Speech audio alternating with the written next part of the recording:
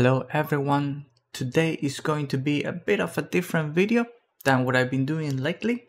So I've been waiting for this case since I first saw it back in June. I think it was Computex. It was finally released last month, so I got it and I thought I took you guys along as I transplant my current computer to this new case. Now, the main selling point of this case is that you assemble it yourself, IKEA style. So I'll go over the process of that and give you guys some tips. I bought the macaron version for 100 on Amazon, but it also comes in the standard black or white for 90. For the extra 10, you get three sets of panels, green, pink, and tan.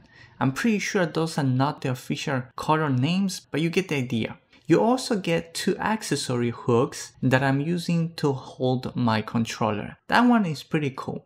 The cable holder, that one comes with all of them. Now I do wish the Macaron version still included the white panels, but I understand why that wouldn't make sense, so it's okay. The instructions tell you to add the computer parts as you build the case.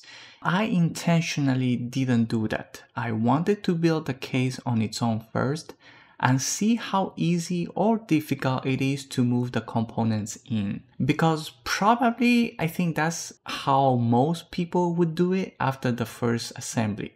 I know I certainly wouldn't want to take apart the whole case every time I need to change the motherboard. And the answer is yes, you can totally build the case first and then add the parts like any regular PC case. One precaution I have is when securing the PSU bracket, assuming you are mounting it at the front, is to use the regular screws and don't use the single one screw that says PSU secure bracket on the manual. That screw is actually optional and if you use it, you will need to remove the front structure panel because the screw head is too large and won't go through the hole on the panel.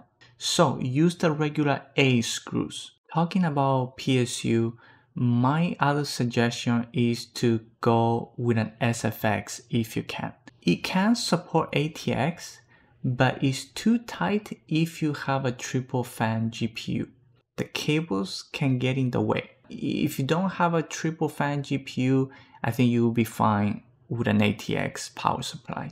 The top of the case can support a 280 rad. I tried to install two 140 fans and it was way too tight.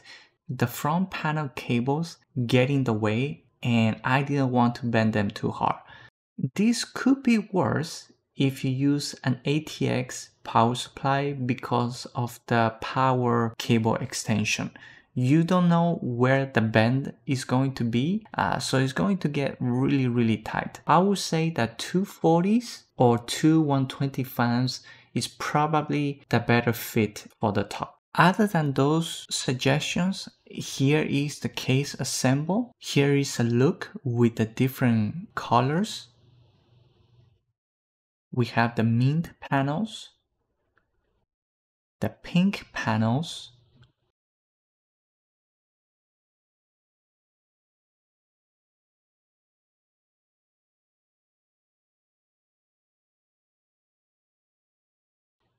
and the cream panels.